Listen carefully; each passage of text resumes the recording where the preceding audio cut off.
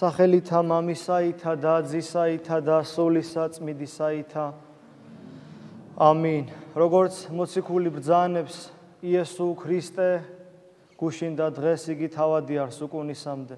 ქრისტე უცვალებელია. უცვალებელია ყოვლითურთ ანუ ყველანაირად. უცვალებელია ის როგორც გამომხსნელი. ჩვენ ვიცით რომ გამოგვიხსნა ღმერთმა და მისი უცვალებელობა სწორედ აი ამ გამოხსნაშიც მდგომარეობს. მისი გამოხსნაც სწორედ იმგვარივე ძალმოსილების მქონეა. იესო ქრისტე გუშინ და დღეს იგი თავადი არს უკუნისამდე და როგორი სიმდაბლითაც მოვიდა უფალი ამ ქვეყნად მსგავსი სიმდაბლე აქვს მას. როგორც სურდა მას ქვეშე ფრთეთა მისთა შემოკრება ჩვენი მსგავსაც სურს დღევანდელ დღემდე და როგორც სურდა ყოველი ადამიანის მოქცევა, რომელთან დაკავშირებითაც ამბობდა, სხვანით საცხოვარნი მიდგან, რომელნი არ არიან ამის ეზოსაგან იგინიცა, ჯერ არიან მოყვანება ჩემ და სწორედ იგივე სურვილი აქვს დღევანდელ დღემდე და ამიტომაც აუწყა მრავალგზის და განსაკუთრებით ამაღლების წინ მოციქულებს სიტყვები წარვედით და მოიმოწაფენით ყოველნი წარმართნი და ნათელსემდით მათ სახელითა მამისაითა და ძისაითა და სულისა წმიდისაითა და ასწავებდით მათ დამარხვათ ყოველი რაოდენი გამცენ თქვენ. და სწორედ ამ სიტყვების აღსრულება ის, რასაც დღეს ჩვენ ვისმენთ მსახურების დროს ამ აღმოკითხულ ეპისტოლეში ეს არის გალატელთა მიმართ პირველი ეპისტოლე. მე-11 მე-12 მუხლები, სადაც ვკითხულობთ. გაუწყებ თქვენ ძმანო სახარებას ამას, რომელი იგი გეხარა ჩემიერ. რამე თუ არ არის კაცობრიო და რამე თუ არც აღა მე კაცის ამიერ მოვიღე იგი. გინა ვისწავი არამედ გამოცხადებითა იესო ქრისტესითა. ამ სიტყვების ავტორი რა თქმა უნდა არის პავლე სავლე ყოფილი პავლე მოციქული თავთა. და ამიტომაც გამოცხადებით ვიცით რომ დამასკოს გზაზე მოუწოდა მას უფალმა და მის შემდეგ გუმხურვალემ ხადაგებელია ქრისტესი. ამიტომაც ამბობს რომ არ მოუღია მას კაცთაგან, არც გარდამოცემით სოდნია, არამედ თავად უფლის გამოცხადებით არის იგი მეტყველი და მქადაგებელი იმ საფრთხო ჭეშმარიტებისა, რომელიც უფალმა მოგცა ჩვენ. ამიტომაც ამბობს: გაუწყებ თქვენ ზმანო სახარებას ამას, რომელი იგი გეხარა ჩემიერ, რამე თუ არ არის კაცობრივ და რამე თუ არც აღამე კაცის ამიერ მოვიღე, გინა თუ ისწავი, არამედ გამოცხადებითა იესო ქრისტესითა. და რა არის სახარება მოციქულთა მიერ ქადაგებული. რა თქმა უნდა, უპირველეს ყოვლისა, ყოველი ეპისტოლე, ყოველი ქადაგება მოციქულთა და მოციქულებრივ მამათა არის ქრისტოცენტრული. ამიტომაც მათ მიერ ქადაგებული მხოლოდ მხოლოდ ქრისტეა, რომელიც ერთი და იგივეა, როგორც მოციქული ამბობს იესო ქრისტე, გუშინ და დღეს იგი თავადი არის უკუნისამდე. რაც შეეხება დღევანდელ საკითხავს იოანეს მე-17 თავს ამ საკითხავს ეკლესია ამგვარად სახელდებს სამეუფო ლოცვად და რა თქმა უნდა ჩვენ მრავალგზის შევხები ვართ ამ საკითხავს მაგრამ ამოუწურავია. იგი ამიტომაც ჩვენ რამოდენიმე მუხლზე გავამახვილებთ ყურადღებას. პირველი მუხლი. ეს არის პირველივე მუხლი პირველი საკითხავისა. ამას იტყოდა იესო და აღიხილნა თვალნი თვისნი ზეცად და თქვა მამაო მოიწია ჟამი ჩემი ადიდე ძე შენი რაითა ძემანცა გადიდო შენ. ეს არის ძალიან მნიშვნელოვანი ადგილი. ჩვენ ვიცით რომ სამეუფო ლოცვა გეცამანის ბაღში წარმოითქმება მაშინ როდესაც წინა სასიკვდილო ტკივილებს განიცდის უფალი და ავედრებს უფალს იმ სამწყსოს ყველა იმოციკულს და ყველა ადამიანს რომელიც მას დაემოწაფა. არა მარტო იმ ისტორიულ მონაკვეთში ანუ პირველი საუკუნის პირველ ნახევარში, არამედ ყველა ადამიანს, ყოველ მოდგმას ადამიანსა შეიძლება ითქვას და თითოეული ჩვენთაგანი ვიგულისხმებით ამ სიტყვებში, ამიტომაც ამბობს მე მათვის კითხავ, არათუ სოფლისათვის კითხავ. და რაც შეეხება აი ამ უშუალო სიტყვას, ამას იტყო და იესო და აღიხილნა თქვალნი ზეცა და თქვა. როგორ უნდა გავიგოთ ეს სიტყვები? რა თქმა უნდა, ძალიან ძნელი ამ სიტყვების გაგება ეგზეგეტიკის ანუ განმარტების garaშე. ამიტომაც იოანე ოქროპირი მოსწრებულად განმარტავს და აქცენტს აკეთებს იმაზე, თუ რაზე ჩვენ ვისაუბრეთ წინა კვირას ბიბლიოლოგიური ენის განმარტებაზე და აუცილებელია ბიბლიოლოგიური ენის სოდნა და ბიბლიური ენის სოდნა და წინა აღრის შემთხვევაში ჩვენ ბევრი რამ შეიძლება გაგვიჭirdეს, ბევრი რამის გაგება. ამიტომაც ესეც ერთ-ერთი ბიბლიური ტერმინია თვალთა ახილვა და მუხნი დაიდგნა. სხვა ადგილზე არის ნახსენები ეს სიტყვები მუხნი დაიდგნა და ასევე საქართველოს სიკულტაში მრავალჯერ არის ნახსენები მუხნი დაიდგნეს და ილოცეს. აქ ახილვა თვალთა არის ნახსენები და როგორც იოანე ოქროპირი განმარტავს აქ ერთადერთი რამ ანუ ლოცვა იგულისხმება. ამიტომაც იგი ამბობს ამის ყოვლისამიერ ვისწავებთ თუ ვითარ მხურვალედ ჯერ არს აღსრულებაი ლოცვისაი. და რა თქმა უნდა აქ იგულისხმება ლოცვა და გუმხურვალე ლოცვის მაგალის გვაძლევს თავად ქრისტე ჩვენ, რადგანაც ჩვენ ვიცით რომ უდიდესი განსტი და უდიდესი გულხურვალებით აღავლინა მას მანეს ლოცვა გეცამანის ბაღში. და ასევე მნიშვნელოვანია რომ მას ჰქონდა განსაკუთრებული მარტოობის განცდა აი ამ დროს. ამიტომაც ევედრება პეტრეს, იაკობს და იოანეს რომ იღვიძებდნენ მისთან არა მარტო ამ სამს, არამედ სხვა დანარჩენებსაც და ვიცით რომ სამგზის თხოვს მათ, მაგრამ სამივეჯერ მიერულა, ანუ ჩაეძინა მათ. და შემდგომ აგრძელებს იოანე ღვთისმეტყველი, რაითა ზეცადო ხედვიდეთ არახორციელითა რაითა ზეცად ხედვიდეთ არახორციელითა ოდენ თვალითა არამედ სულითაცა. ანუ აქ საუბარია იმაზე, რომ ჩვენ სულიერი მზერა უპირველეს ყოვლისა არა ხილულ ზესკნელს ანუ ცას უნდა მივაპყროთ, არამედ სულიერი თვალით. რაითა მოდრკეთ მუხლითა შემოსურილითა გონებისათა. და სწორედ აი ეს გარეგნული ფორმა გნებავთ მეორე ტერმინი რომელიც ლოცვასთან ლოცვასთან არის დაკავშირებული მუხლი დაიდგნეს. ანუ მუხლ მოდრეკა იყოს შინაგანი მდგომარეობიდან განპირობებული. ანუ მეტანოით შინაგანი ცვლილების გარეგნული განივთება იყოს ყოველივეს და არა მხოლოდ და მხოლოდ გარეგნულად მუხლ დრეკა და აქ არის ძალიან საინტერესო პასაჟი რასაც იოანე ოქროპირი გვთავაზობს რამე თუ მოვიდა ქრისტე არა თავისათვის ისა ჩვენება დოდენ, არამედ სწავლაცა სათნოებისა დიდისა.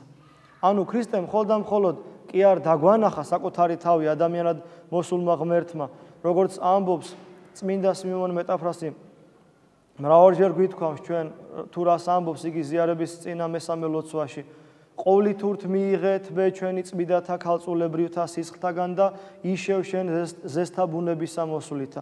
რა თქმა უნდა ეს არის ერთ-ერთი საუკეთესო დოგმატური გამონათქვამი შეიძლება ითქვას, რაც კი ეკლესიის ისტორიაში არსებობს, რასაც ჩვენ გვაწვდის წმინდა სიმონ მეტაფრასი და გვეზრახება ადამიანად მოსული ღმერთის განკაცების შესახებ, მაგრამ და ასევე იქამდე ამბობს მოციქული, როგორც უკვე ვთქვით, ღმერთი გამოჩნდა ხორცითა, მაგრამ ხოლმე მხოლოდ ეს რა თქმა უნდა არ იყო განკაცების მიზანი, განკაცების მიზანი არის გამოხსნა უპირველეს ყოვლისა, მაგრამ ამ ყველაფერთან ერთად ასევე სწავლაცა სათნოებისა დიდისა და ყველაზე დიდი სათნოება, რომელიც გვასწავლა, რომლის პირადი მაგალითიც მოგცა ჩვენ ქრისტემ, ეს არის ლოცვა. შემდგომ ვკითხულობთ: მამაო მოიწია ჟამი ჩემი ადიდე ძე შენი, რაითა ძემანცა გადიდო შენ. საოცარი კადნიერება აქვს იოანე ოქროპირს განმარტების დროს ღვთის წინაშე იმის გამო რომ იგი განსაკუთრებულად ახლოს არის მისი გულმხურვალებით ღვთის წინაშე და ამგვარ განმარტებას გთავაზობს იგი, რომ мама არ იწოდა კაცობრიობამ ვიდრე განკაცდებოდა ძე. ამიტომაც არის იოანეს სახარებაში ნათქვამი. мама არავინსა და იხილა მხოლოდ ჩობილმან ძემან რომელი იყო წიახთა მამისათა მან გამოთქვა იგი და ასევე ეს არის წინასწარმეტყველის სიტყვები ისრაელმან მე არ ამიცნა აქ мама ღმერთზეა საუბარი ყოვლადწმიდა სამების პირველ პირზე და ეს სიტყვები გაჟღერებულია როგორც უკვე ვთქვი ძველ აღთქმაში იქამდე სანამ განკაცდებოდა ქრისტე. ხოლო შემდგომა ჯვარც მისა ყოველმან სოფელმან ცნა ანუ იცნო იგი. და თელმა სამყარომ გაიგო მამის შესახებ რადგანაც ყველაზე საუკეთესო სწავლება ყველაზე დაწვრილებითი რაც შეიძლება ყოფილიყო ეს ფილიპეს მიმართ პასუხში გაჟღერდა თავად უფლის მიერ წინა სახურების დროსაც ვახსენე, მაგრამ მინდა გავიმეორო, როდესაც ფილიპე ეკითხება უფალს, უფალო, გვიჩვენე მამაიშენი და კმარს ჩვენ და უფალი პასუხობს მას, ფილიპე ესოდენ ჟამ ჩემთან ახარ და არა უწყია რომელმან მე მიხილა მამაიცა ჩემი იხილა და მრავალი პარალელიზმით ხასიათება წმინდა წერილი, როდესაც ამბობს უფალი მე და მამაი ერთ ვართ. ვითარცა მოეცმას ხელმწიფებაი ყოველთა ხორციელთაი, რაითა ყოველი რომელი მოეცმას მისცეს მათ ცხოვრებაი საუკუნოი. აქაც როგორც მამები გვასწავლიან, ძალიან მნიშვნელოვანი არა მხოლოდ და მხოლოდ იმ ხსენებული მუხლის ეგზეგეტიკა, არამედ უპირველეს ყოვლისა, რაც ჩვენ წმინდა მამებთან გვხდება პარალელიზმით განმარტება წმინდა წერილისა კონკრეტული ერთი ადგილისა მეორე პარალელური ადგილით. ამიტომაც წმინდა მამა იოანე ოქროპირი აქ თავაზობს არა თავის პირად ეგზეგეტიკას, არამედ პარალელურ ადგილს და ამიტომაც ამბობს: ვითარცა მოეცმას ხელმწიფება ყოველთა ხორციელთაი, რაითა ყოველი რომელი მოეცმას, მიესმა ცხოვრებ მიეცმას, მისცეს მას ცხოვრებაი საუკუნოი. ამასთან დაკავშირებით ამბობს: არა მოვლინებულ ვარ გარნა ცხოვართა მათვის წარწმედულთა ძეთა ისრაელისათა. და ის ხელმწიფება, რომელიც მიეცა ძეს მამისაგან სწორედ განივთებული ამ სიტყვებში არა მოვლენებულ ვარ გარნა ცხოვართა მათვის წარწმედულთა ზეთა ისრაელისათა.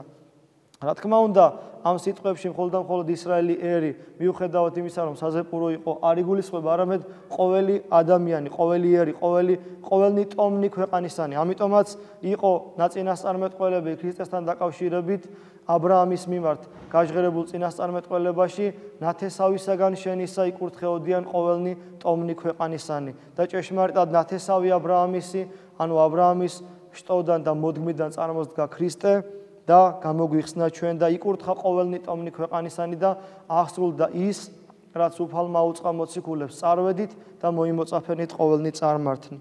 და ასევე დღევანდელი აღმოკითხული სახარების ბოლო მუხზე მინდა გავამახვილო ყურადღება. უბრალოდ ბოლო არის რომელზეც გავამახვილე ყურადღებას ისე კი მეორე მუხლი არის რაითა ყოველი რომელი მოეცმას მის მისცესმა ცხოვრებაი საუკუნოი ესეც ძალიან საინტერესოა. ყოველივე მის მიერ იქმნა აქაც იოანე ქროპირი პარალელიზმით განმარტავს და არა საკუთარი განმარტებით გვთავაზობს ეგზეგეტიკას, არამედ ისევ და ისევ პარალელიზმით განმარტავს ამ ადგილს.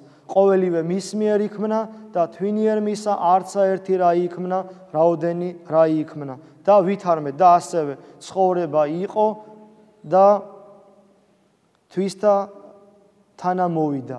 ანუ აქ ორი სხვადასხვა ადგილია გაერთიანებული. ცხოვრება იყო და თვისთა თანა მოვიდა და შემდგომ ვიცით თუ როგორ გძელდება და თვისთა იგი არა შეიწყნარეს და მისცა ხელმწიფებაი სხვათა შვილღმრთისა ყოფათ. და ასევე პავლე მოციქულის სიტყვებს გვახსენებს, რომელი იგი არის სწორ ღმრთისა. იოანეს სახარებაზე, სახარების მუხლებთან დაკავშირებით მე აქ შევწყვეტ საუბარს. ეხლა მე მინდა გარკვეულწილად დავაკავშირო ასევე მეორე ეპისტოლე, რომელიც დღეს იქნა აღმოკითხული ებრაელთა მიმართ ეპისტოლე, ყოველივე ამ ზემოთ აღნიშნულს. ებრაელთა მიმართ ეპისტოლის მე-13 თავის მე-15 მულში კითხულობ შემდეგს: ამისთვის შევსწირავთ მსხვერპლსა ქებისასა, მარადის ღმრთისა, ესე იგი ას, ناقობსა, ბაგეთასა, და აღსარებასა სახელისა მისისასა.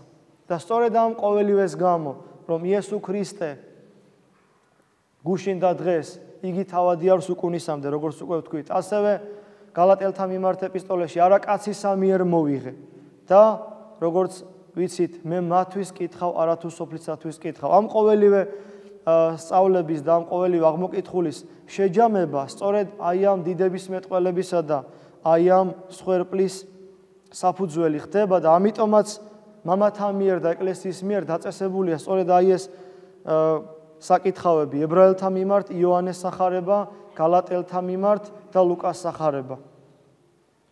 და ჭეშმარიტად როგორც ებრაელთა მიმართ ეპისტოლეში ვკითხულობთ, ამისთვის შევსწირავთ მსხვერპლსა, ქებისასა, მარადის ღმრთისა. ესე იგი არის ناقოფი ბაგეთასა, და ახსარებასა, სახელსა, მისისასა. ეხლა ძალიან საინტერესოა განმარტება.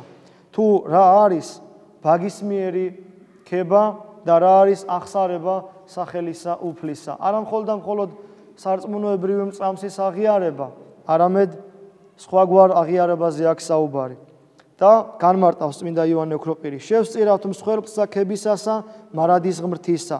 ესე იგი არის ვითარმე ძისამიერ, ვითარცა ჩვენთვის ხორც შესქმითა მღვდელმთავარ ჩვენ დაქმნულის.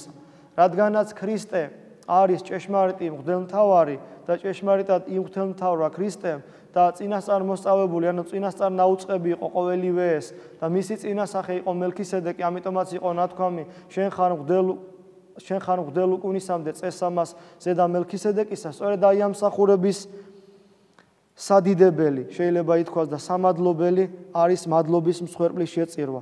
და გარდა ამისა, შევწირად ღმრთისა მამისა მსხვერპლსა ქებისასა. და რა არის ქების მსხვერპლი, რომელ არს? უსისხლო იესე მსხვერპლი.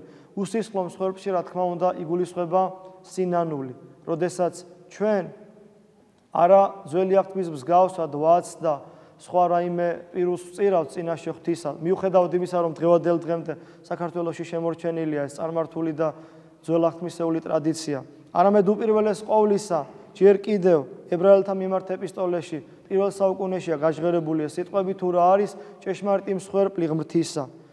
უსისხლო მსხვერპლი, რომელ არს უსისხლო იესე მსხვერპლი და რომელიცა უსისხლო ესე მსხვერპლი რომელაცცა შევწირე წინაშე მისა და როგორც უკვე ვთქვით ეს უსისხლო მსხვერპლი არის სინანული რომელსაც ხოლმე და მხოლოდ გულთამხილველი ღმერთი ხედავს და რომელიც ხოლმე და მხოლოდ ღვთის წინაშეა.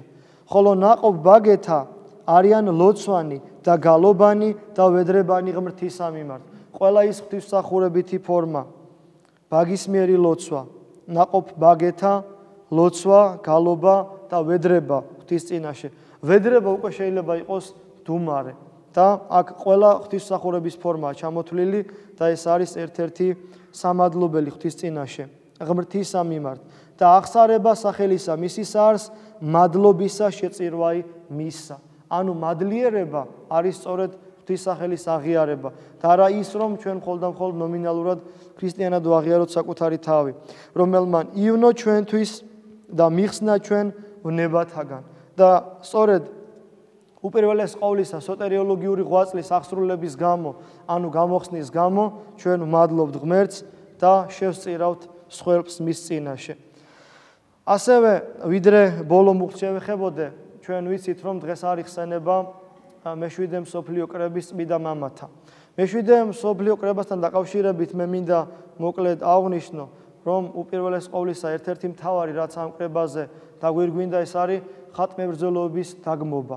რა თქმა უნდა, ხატი არის სარკმელი ზეცაში, როგორც ეკლესია გვასწავლის და აუცილებელია იკონოგრაფიული გამოხატვა ამა თუ იმ წმინდანისა უპირველეს ყოვლისა მაცხოვრისა, ღვთისმშობლისა და სხვა ყველა წმინდანებისა და გვეხმარება ჩვენ ლოცვით განწყობაში, ისევე როგორც ერთ-ერთი იკონოგრაფიული საიდუმლოება შეიძლება ითქვას გარდაცვალება ახლობელი ადამიანისა, როდესაც სწორედ ახლობელი ადამიანის გარდაცვალება ხდება იკონოგრაფიული ფუნქციის შემსრულებელი და გვახედებს ჩვენ მარადისობისკენ, და ურწმუნო ადამიანებსაც კი აფიქრებს იმაზე, რომ არსებობს თუ არა ღმერთი, არსებობს თუ არა სულის უკვდავება, არსებობს თუ არა მარადიული მყოფობა მისი ახლობელი ადამიანისა მარადისობაში და მხოლოდ და მხოლოდ აი ამ იკონოგრაფიული ალეგორიული ნიშნულობით გარემოებიდან გამომდინარე ადამიანს უჩდება სურვილი. შესაძლოა მხოლოდ და მხოლოდ ახლობელი ადამიანის სიყვარულიდან გამომდინარე რომ ნეტავ არსებობდეს უკვდავი სული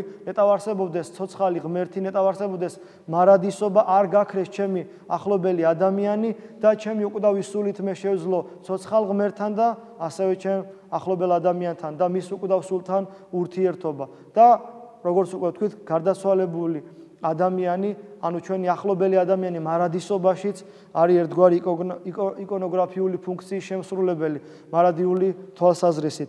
რა თქმა უნდა, ხატი თუკი ადამიანის გარდაცვალებას ამგვარად შევხედავთ, ხატი არის უპირველეს ყოვლისა აი ამ გარემო პირობების შექმნელი ლოცვითი განწყობის მომნიჭებელია და ამ გადმოსახედიდან გაუგებარიც კი თუ რატომ ებზობდნენ ხატებს და რატომ არსებობდა ხატმებრძოლეობა. ხატმებრძოლეობა გაიგივებული იყო კერპთაყვანის მცემლობასთან.